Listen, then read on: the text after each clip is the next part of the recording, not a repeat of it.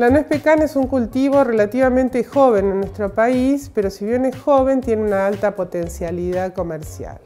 Hay aproximadamente unas 10.000 hectáreas cultivadas, con un potencial de producción de hasta 20.000 toneladas. Las variedades de pecan más importantes en nuestro país son Stuart, Desirable y Pauní.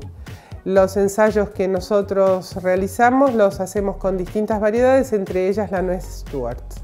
El trabajo de investigación que realizamos sobre la conservación de nuez pecan consistió en el almacenamiento a dos este, condiciones que son las que se usan normalmente o que se pueden aplicar entre los productores de, estas nueces en nuestro país. El almacenamiento a granel en bolsas de arpillera y con cáscara, refrigerado y a temperatura ambiente. Mm, compararon las dos condiciones de almacenamiento de forma que este, poder determinar cuál de las dos eh, mejoraba la eh, estabilidad y la calidad de la nuez.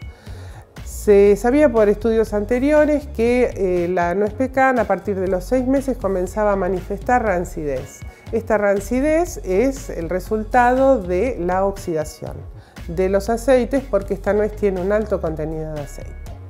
El almacenamiento refrigerado entonces ayuda a conservar estas nueces durante 10 meses, que es el tiempo en que a partir de los dos meses post cosecha podemos lograr llegar a la cosecha del año siguiente. Y esto facilita la comercialización de los pecanes. Al refrigerar la nuez le mantiene el sabor típico, mantiene el dulzor de la nuez y también el color, porque al oxidarse y manifestar esta rancidez de las que yo les hablaba, el pecan se oscurece.